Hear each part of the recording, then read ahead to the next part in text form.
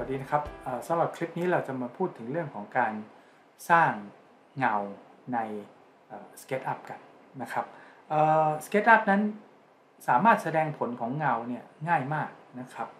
แต่ก่อนอื่นเนี่ยเราคงจะต้องทำให้ถูกต้องโดยการกำหนดที่ตั้งของโครงการ ให้แน่ใจว่าที่ตั้งของโครงการมันถูกต้องก่อนนะครับเริ่มต้นเลยเราก็ไปที่เมนู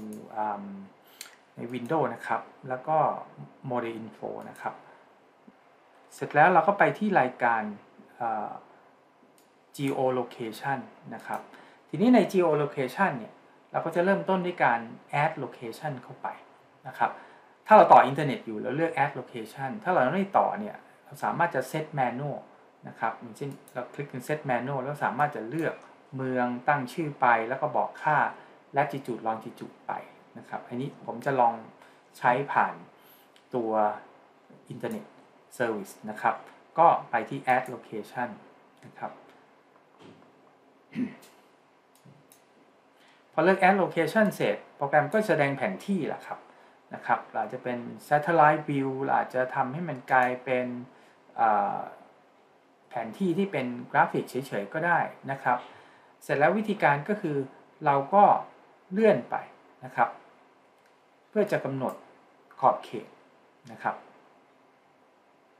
จะเห็นว่าพอเราอยู่ในระยะระดับหนึ่งเนี่ยโปรแกรมมันจะขึ้นกรอบสีขาวนะครับ ให้เรารู้ว่าเราจะเลือกส่วนไหนนะครับผมจะลองเลือกแถวๆตรงนี้แล้วกันนะครับโอเคสมมตินี้แล้วกันนะครับ เสร็จเรียบร้อยแล้วเราก็เลือกหัวข้อว่า select region ก็คือเราจะเลือกเลือกพื้นที่ตรงนี้นะครับคลิกไปพอเราเลือก select region เสร็จนะครับเราใน release ล่าสุดเนี่ยเราจะเป็นจะต้องบอกว่าเราใช้ provider ของ map คนไหน ถ้าเราคลี่มาดูเราจะสังเกตเห็นว่า default จะเป็น digital globe นะครับ อีกอันเป็น high res อันนี้ต้องในบาง area ต้องเสียเงินนะครับ เราก็เลือก digital globe ไป เสร็จเรียบร้อยแล้วตรงนี้เราเห็นว่าพื้นที่ตรงนี้มันยังคงมีหมุดสีขาวให้เราสามารถจะปรับกรอบให้มันเล็กกว่านี้ก็ได้นะครับ เช่นอย่างเช่น ผมจะเอากรอบอยู่ประมาณตรงนี้สมมตินะฮะให้มันเล็กลงมาหน่อยนึงโอเคสมมตินี้แล้วกันนะครับ เสร็จเรียบร้อยแล้วเราก็เลือกหัวข้อว่า import ในขณะที่เรากำลังทำอยู่เนี่ยนะครับ สิ่งที่ทำก็คือว่านอกเหนือจากการเซต geolocation ให้มันตรงตำแหน่งที่ต้องการแล้วเนี่ยโปรแกรมจะเอาแผนที่ลงมานะครับซึ่งแผนที่อันเนี้ยเราอาจจะในกรณีที่เรามีพวก terrain model เป็น contour มันมาด้วยนะครับเพื่อจะใช้งานที่เป็นลักษณะที่เป็นอยู่บน terrain model แต่ทีนี้ทีนี้ผมจะเอาแผนที่อันนี้ออกเพราะเราเลือก set location เสร็จแล้ว เราก็คลิกไป นะครับแผนที่อันนี้มันจะล็อกอยู่เราสังเกตเห็นเป็นสีแดง ถ้าเราจะลบทิ้งแล้วก็ unlock มันนะครับ แล้วหลังจากนั้นผมก็จะ delete ทิ้งไป เอาล่ะ ตอนนี้ผมมี base model นะครับโอเคนะครับเดี๋ยวผมลบอันนี้ทิ้งไปก่อนนะอันนี้เป็น terrain นะครับลืมล็อกมันมี 2 ตัวนะครับ เวลาดึงเข้ามาจะมีตัวกราฟิกเป็นแบนกับตัวที่มันเป็นความสูงต่ำตามลักษณะที่เป็น contour นะครับ เอาละทีนี้โมเดลได้แล้วนะครับ อันนี้เรา set location ถูกเพราะเราแน่ใจได้ว่าลักษณะการทำเฉดเนี่ยมันจะถูกต้องตามจริงละตาม location ที่เราอยู่นะครับทีนี้ขั้นตอนถัดไปเราสร้างเงาได้ยังไงนะครับเราก็ทำได้ 2 กรณี ถ้าเรามี toolbar อยู่ข้างบน สังเกตดูนะครับ เรามี toolbar นี้อยู่นะครับ ผมเปิด toolbar นี้ไว้ แล้วก็จะมีปุ่มนี้ นะครับเป็น shadow toggle on off อย่างเช่นตอนนี้ผมแสดงเงาอยู่ถ้าผมติ๊กลงไปเงาก็ไม่มีเห็นไหมฮะติ๊กลงมานะครับอันนี้ก็เป็น toggle มีที่ไหนอีกเราไปที่ view นะครับแล้วมันก็จะมีรายการที่เขียนว่า shadow เหมือนกันนะครับเปิดที่นี่ก็ได้ view แล้วก็ shadow นะครับ นี้โดยปกติเนี่ยใน default เนี่ยนะใน default tray เนี่ยมันจะมีรายการ shadow อยู่เช่นกันนะครับนี่เราสังเกตดูตรงนี้นะครับเราก็มีรายการของ shadow อยู่ ซึ่งเราจะมาเปิดติดที่นี่ก็ได้เหมือนใน toolbar นะครับเราสามารถจะใช้ตัวสไลเดอร์นะตัวแรกนี่เป็นเดือนนะครับเป็นเดือน แล้วก็ตัวที่2เนี่ยเป็นเวลา นะครับถ้าเราปรับแต่งเช่น อาจจะปรับเดือนนะครับ ปรับเวลานะครับ เราก็จะสังเกตเห็นลักษณะของเงาในช่วงเวลาต่างๆนะครับ ทีนี้มาดู dialog ว่าเราทำอะไรได้บ้างนะครับ ทีนี้มาดู dialog ตรงนี้จะลอง pan โมเดลมันนิดมันจะได้เห็นไอเดียนะครับเริ่มต้นนอกจากเราตั้งเวลาต่างๆแล้วนะครับ ผมจะลองปรับให้พอเห็นนิดหน่อยชัดๆขึ้น เสร็จแล้วมันจะมีรายการนะครับ ถ้าเราสังเกตดูตรงนี้มันจะมีรายการอีกอันคือ light กับ dark light กับ dark นี่หมายความว่ามันเป็นการควบคุมความสว่างของเงา ในส่วนที่มันสว่างนะครับ แล้วก็ dark เนี่ยจะควบคุมในส่วนที่มืด ถ้าเราลองสังเกตดูสมมติว่าผมเลือก light นะครับ เลือก dark สังเกตเห็นไหมไอ้ dark ตัวนี้ก็คือพวก พวก shading ตรงนี้นะครับ shading ตัวนี้มันจะเข้มขึ้นเห็นไหมฮะ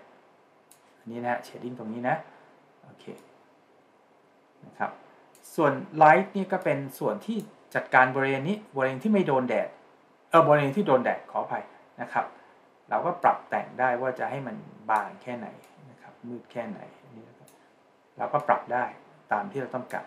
อันนี้คือ light กับ dark นะครับ ส่วน use sun for shading อันนี้หมายความว่าปกติเนี่ยสังเกตดูถ้าผมปิดเงานะครับสังเกตดูนะครับเวลาปิดเงา เราจะเห็นว่าสีของโมเดลเนี่ยมันมีมันมีความต่างนิดหน่อย ผมจะลองปรับให้มันมีความเข้มหน่อยเราจะได้เห็นชัดขึ้นลองสังเกตดูนะครับ เวลาผมเอาเงาออกมันก็จะกลับไปที่ shading model ปกติแต่ถ้าเกิดว่าเราออก use sun for shading ปุ๊บเอาไว้เนี่ย เวลาที่เราปิดเงาก็จริงเนี่ยแต่ว่าไอ้ส่วนที่มันโดนโดนความมืดของของมุมแสงอะไรก็แล้วแต่มันก็ยังคงสภาพอยู่นะครับ อันนี้ก็แล้วแต่ที่เราต้องการนะครับ อันนี้คือออปชันนี้นะครับ นี่ผมจะเปิดอีกรอบนึงถัดไปจะมีดิสเพลย์เราควบคุมอะไรได้บ้างนะครับหนึ่งคือ on face คำว่า on face หมายความว่าอย่างนี้ครับโอเคเดี๋ยวผมจะเลื่อนมันนิดมันจะได้เห็นชัดคำว่า on face หมายความว่าเงาตัวนี้ให้มันตกกระทบลงไปบนเฟสอื่นนะครับ ผมจะลองปรับเวลาให้มันพาดพิงไปทางนู้นบ้างนิดหน่อยพอมองเห็นไอเดียลองสังเกตดูนะครับ ตอนนี้เงาผมพาดไปบนเฟสนี้นะฮะถ้าผมติ๊ก on face ออกเงาจะเกิดขึ้นที่พื้นเท่านั้นนะครับแต่ถ้าติ๊ก on face มันจะปรากฏบน face อื่นนะครับนี่ก็หมายว่า on face ส่วน on ground ก็คือชื่อบอกไว้ว่า on ground คืออยู่บนพื้นนะครับบนพื้นในที่นี้คือระดับศูนย์ศูนย์ของระนาบทำงานเนี่ยถึงแม้จะไม่มี face อะไรเลยก็ตามเนี่ย SketchUp ถ้ามีติ๊กตรง on ground มันจะแสดง shadow บน ground level นั้นให้นะครับ ส่วนอีกงานคือ from edge ผมยกตัวอย่างเช่นกรณีจะเห็นว่าผมเขียนเส้นนี้ด้วยลายธรรมดานะครับ เสร็จเรียบร้อยแล้วจะเห็นว่าตรงนี้มันไม่แสดงเงาของของเส้นตะแกรงอันนี้นะครับ ถ้าผมติ๊ก from edge จะเห็นว่าตอนนี้มันมีเงาเกิดขึ้นด้วย อันนี้อาจจะใช้สำหรับกรณีที่เราทำพวกลูกกลงอะไร แต่แน่นอนมันคือเส้นนะครับ ถ้าเข้าไปดูใกล้ๆอาจจะรู้สึกว่ามันมันกลายเป็นเส้นธรรมดา แต่มองในเชิงของของ perception เนี่ย ถ้าเราอยากจะมีของที่เป็น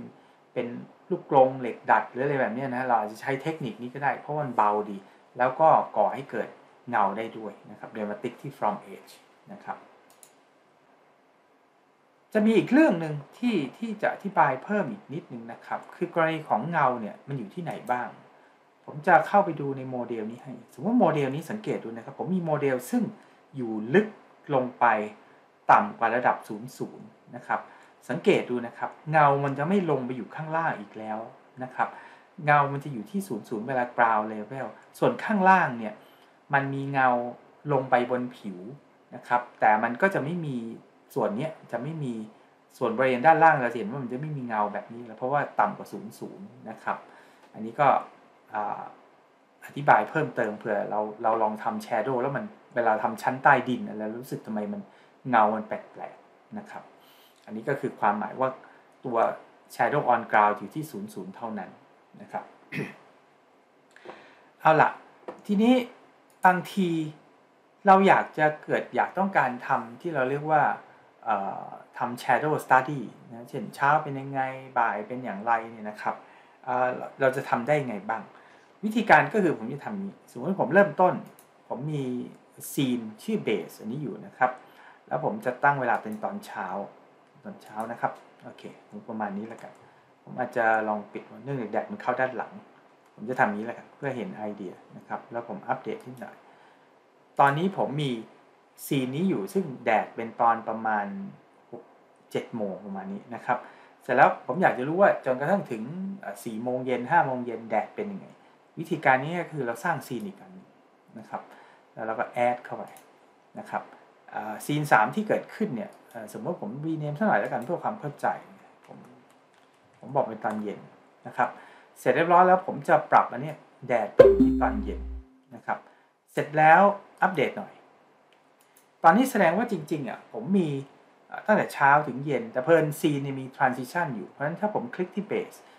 เนื่องจากผมไม่ได้เลื่อนมุมมองของจอนะครับ เพราะฉะนั้นเนี่ยมันก็จะเป็นการ animate เฉพาะเงาลองสังเกตดูนะครับนะครับแล้วเรากลับตอนเย็น นั่นหมายความว่าเราสามารถจะใช้เทคนิคนี้สำหรับการทำเชดสตัดดี้ได้ในโมเดลของเรานะครับ อันนี้ก็พอเห็นไอเดียของการ จัดการเรื่องเงาใน SketchUp นะครับ คราวหน้าเราก็จะไป